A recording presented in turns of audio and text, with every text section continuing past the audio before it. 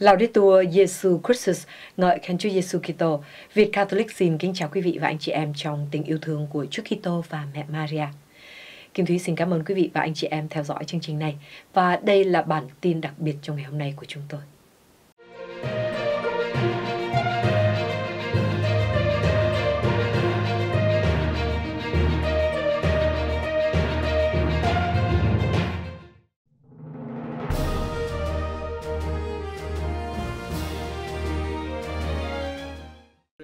Vladimir Putin cần chăm sóc y tế khẩn cấp sau khi cảm thấy dây sẩm mặt mày. Các bác sĩ khuyên Vladimir Putin nên tránh xuất hiện trước công chúng sau khi ông cảm thấy ốm yếu, suy nhược và chóng mặt khi đứng dậy khỏi bàn làm việc trong chương trình truyền hình dài 90 phút của Nga. Vladimir Putin cảm thấy ốm yếu, suy nhược và chóng mặt khi đứng dậy khỏi bàn làm việc sau phiên họp kéo dài một tiếng rưỡi. Điều này đã được khẳng định. Kênh General SVR Telegram đưa tin Tổng thống Nga cần hỗ trợ y tế khẩn cấp và đã được các bác sĩ thúc giục không tiến hành các cuộc phỏng vấn kéo dài. Nhiều tuyên bố về các vấn đề y tế đã được đưa ra liên quan đến sức khỏe của Putin bao gồm ung thư và bệnh Parkinson. Sự việc chóng mặt này có thể giải thích cho một thông báo đột ngột trong tuần này rằng chương trình phát sóng trực tiếp đường dây trực tiếp hàng năm của Putin, một cuộc hỏi đáp khi ông trả lời các câu hỏi từ những người Nga bình thường đã bị hoãn lại vô thời hạn. Chương trình đường dây trực tiếp được lên lịch vào nửa cuối tháng 6 hoặc đầu tháng 7, nhưng bây giờ không có ngày nào được xác định. Mặc dù vậy, Putin đã được nhìn thấy trong một lần xuất hiện khá hiếm hoi trước công chúng ở Mạc Tư Khoa vào hôm thứ Năm. Anh ta đã gần gũi với nhiều người tại một sự kiện đánh dấu kỷ niệm 350 năm ngày sinh của Peter Đại Đế và một buổi họp tại cùng một địa điểm với các doanh nhân trẻ, kỹ sư và nhà khoa học. Nhưng SVR cho biết Việc hoãn vô thời hạn chương trình đường dây trực tiếp với Tổng thống là do sức khỏe của Vladimir Putin không ổn định. Một tuần trước, Tổng thống đang chuẩn bị trả lời các câu hỏi của người dân Nga vào cuối tháng 6 đến đầu tháng 7. Nhưng các bác sĩ khuyên ông ấy không nên xuất hiện lâu trước công chúng trong tương lai gần.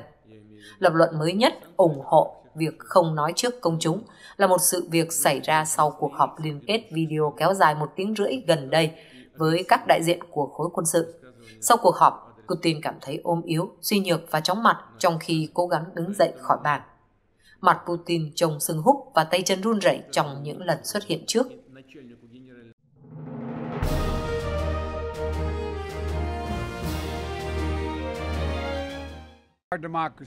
Biden đổ lỗi cho cuộc chiến của Nga ở Ukraine khiến lạm phát tiếp tục tăng cao.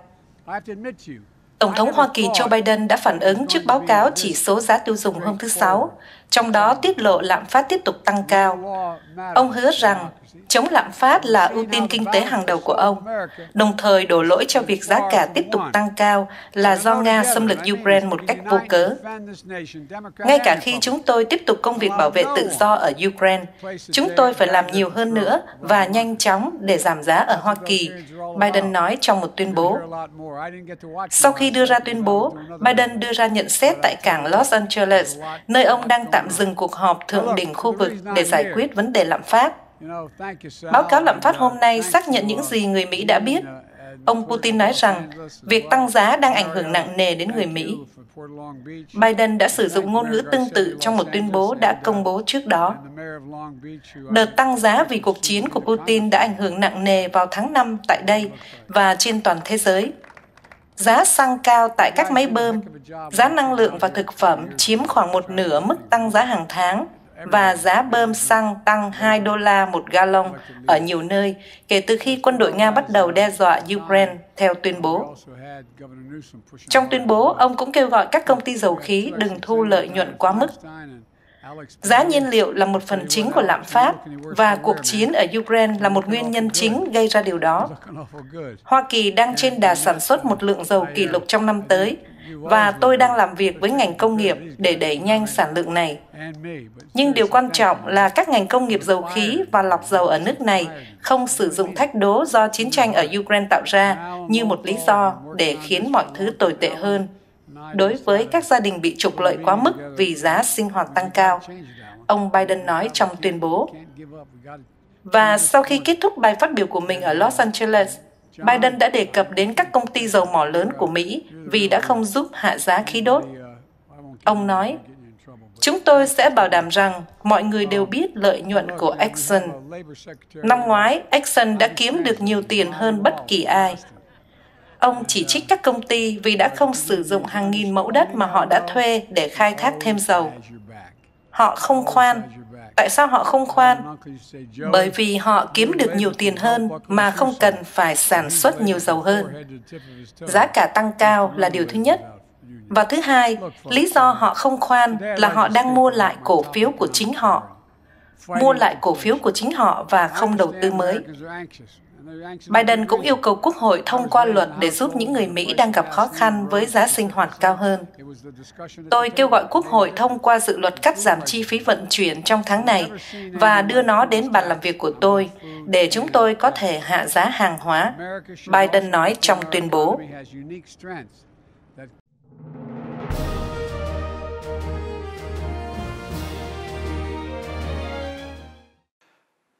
Các quan chức Ukraine lên án mạnh mẽ phiên tòa giả mạo ra lệnh tử hình các quân nhân Anh. Bộ trưởng Ngoại giao Ukraine Dmytro Kuleba hôm thứ Sáu đã lên án mạnh mẽ phiên tòa giả mạo, trong đó ba tù nhân chiến tranh người Anh bị buộc tội là lính đánh thuê và bị tòa án của cái gọi là Cộng hòa Nhân dân Donetsk, gọi tắt là DPR, thân Nga, kết án tử hình. Nhà chức trách DPR cho biết ba cá nhân, công dân Anh Aidan Aslin và Sean Pinner và Brahim Shador, quốc tịch Maroc, là những chiến binh nước ngoài đã bị quân Nga bắt tại thành phố Mariupol của Ukraine vào tháng 4. Truyền thông nhà nước Nga cho biết ba tù nhân có một tháng để kháng cáo bản án của họ trước khi bị xử tử. Kuleba đã tweet vào thứ Sáu là những người tham chiến, họ được bảo vệ bởi luật nhân đạo quốc tế và phải được đối xử phù hợp. Ông nói thêm rằng, Ukraine sẽ tiếp tục làm việc với Vương quốc Anh để bảo đảm trả tự do cho họ. Tổng công tố Ukraine Irina Venediktova cũng bình luận về hoàn cảnh của những người đàn ông hôm thứ Sáu, nói rằng những người này là quân đội có tư cách của những người chiến đấu. Họ tham gia vào chiến tranh một cách hợp pháp. Chúng tôi gọi họ là những chiến binh. Công ước Geneva hoàn toàn bao gồm họ. Venediktova lên án việc xét xử những người đàn ông là bộ mặt của những bộ lạc rất hoang dã, tăm tối. Venediktova nói, những người văn minh không làm điều đó.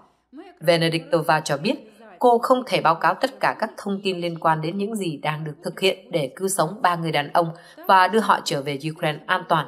Nhưng cô cho biết chính phủ Ukraine đang làm mọi thứ theo thẩm quyền của mình để giải thoát họ.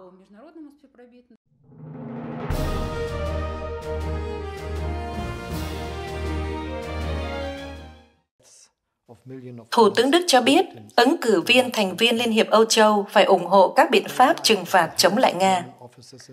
Thủ tướng Đức Olaf Scholz cho biết, ông hy vọng các biện pháp trừng phạt chống lại Nga sẽ được ủng hộ bởi tất cả các nước xin gia nhập Liên hiệp Âu Châu, bao gồm cả Serbia. Đó là một cuộc chiến khủng khiếp, một cuộc chiến vô nghĩa đã được bắt đầu trong một tầm nhìn đế quốc của Nga. Đó là lý do tại sao điều quan trọng là Liên minh Âu Châu và tất cả chúng ta phải đoàn kết với Ukraine và giúp nước này tự vệ trước cuộc tấn công. Ông Scholz nói với Tổng thống Serbia Alexander Vučić trong một cuộc họp báo chung ở Belgrade hôm thứ Sáu. Các lệnh trừng phạt sẽ không đơn giản biến mất khi vũ khí im lặng, Scholz nói. Ông nói thêm, Nga phải hiểu rõ cái giá phải trả cho cuộc xâm lược Ukraine.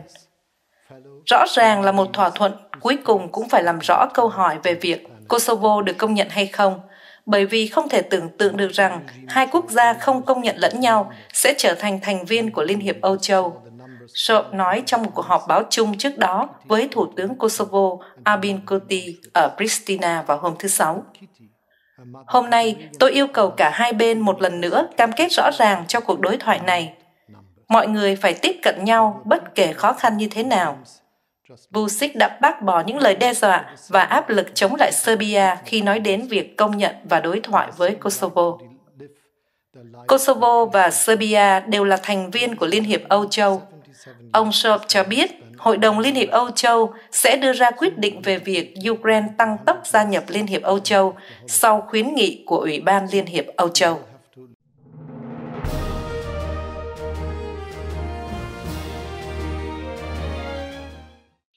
Thị trưởng Mariupol cho biết, Nga phá hủy 1.300 tòa nhà cao tầng trong thành phố mà không dọn xác người dân.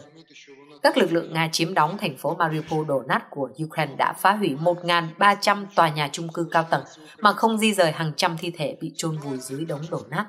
Thị trưởng Ukraine Mariupol Vadim Boychenko cho biết hôm thứ Sáu, phát biểu trên Telegram của Hội đồng thành phố, ông Bochenko, người đã phải di tản khỏi Mariupol đến lãnh thổ do Ukraine kiểm soát, cho biết những người còn lại trong thành phố đã nói với anh ấy rằng Ban đầu, quân xâm lược Nga đã nhờ người dân Mariupol tháo rỡ đống đổ nát một cách cẩn thận. Nhưng Bochenko cho biết khi người Nga nhìn thấy số lượng thi thể thực tế được tìm thấy dưới đống đổ nát, họ ngay lập tức di rời cư dân địa phương khỏi khu vực này. Số lượng thi thể thực sự dưới đống đổ nát của những ngôi nhà bị phá hủy thật đáng sợ.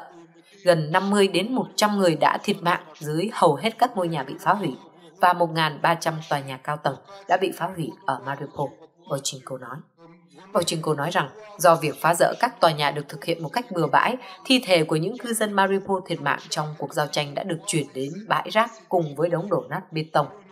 Vào ngày 25 tháng 5, một cố vấn của thị trưởng Petro Andriushenko, người cũng đã chuyển đến lãnh thổ do Ukraine nắm giữ, nói với CNN rằng các quan chức tòa thị chính Mariupol tin rằng ít nhất 22.000 cư dân của thành phố đã thiệt mạng trong 3 tháng chiến tranh. Thị trưởng Pochenko hôm thứ Sáu cho biết Thật không may, con số thực của những người thiệt mạng trong thành phố có thể cao hơn nhiều so với chúng tôi đã báo cáo. Tổng thống Ukraine đã mô tả số lượng dân thường thiệt mạng trong thành phố là hàng chục nghìn.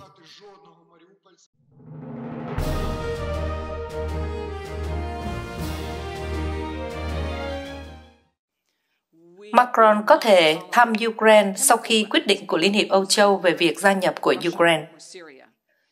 Tổng thống Pháp Emmanuel Macron có thể sẽ có chuyến thăm đầu tiên tới Ukraine kể từ khi Nga xâm lược, sau khi Liên minh Âu Châu quyết định vào cuối tháng 6 về đơn xin gia nhập liên minh của Kyiv. Một nguồn tin của Điện Elysee nói với các nhà báo tại một cuộc họp báo hôm thứ Sáu.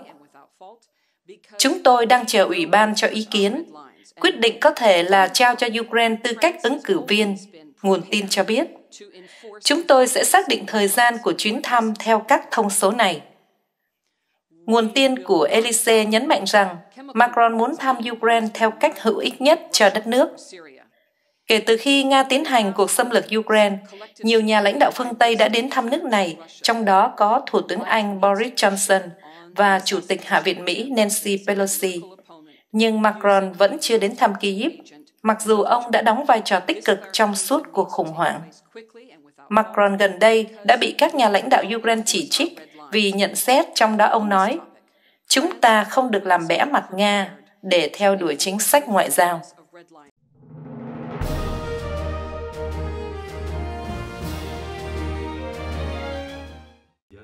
Pháp cho biết ba người nước ngoài bị kết án tử hình phải được đối xử trên sự tôn trọng của luật nhân đạo quốc tế.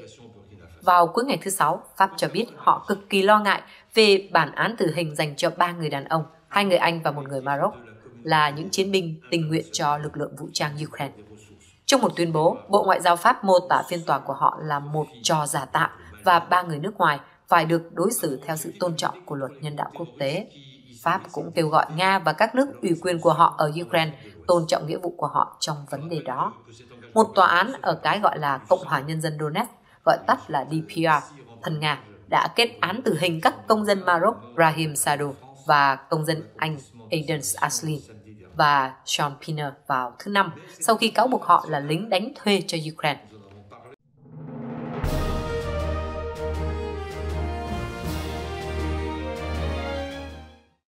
Liên Hiệp Quốc lo ngại về bản án tử hình của ba chiến binh nước ngoài ở Donetsk Liên Hiệp Quốc cho biết họ lo ngại về bản án tử hình của ba người nước ngoài ở Donetsk, đồng thời nói thêm rằng, theo Bộ Tổng tham mưu Ukraine, tất cả những người đàn ông đều là một phần của lực lượng vũ trang Ukraine và không thể bị coi là lính đánh thuê.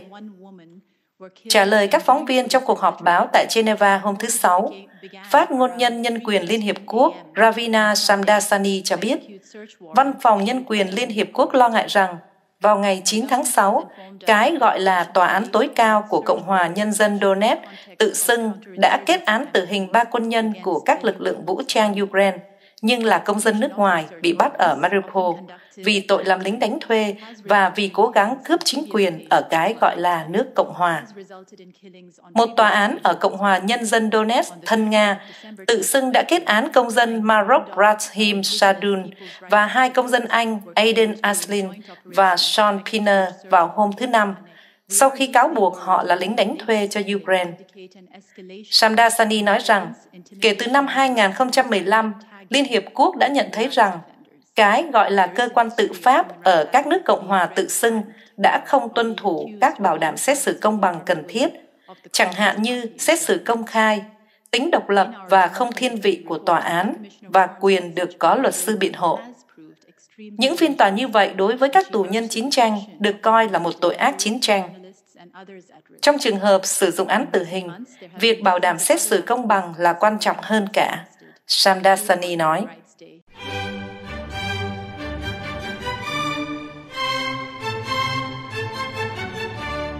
Chương trình của chúng tôi đến đây là hết.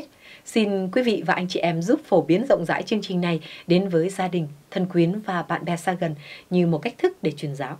Xin cảm ơn và hẹn gặp lại quý vị và anh chị em trong lần phát hình tới. Laudetur Jesu Christus, ngợi khen Chúa Giêsu Kitô.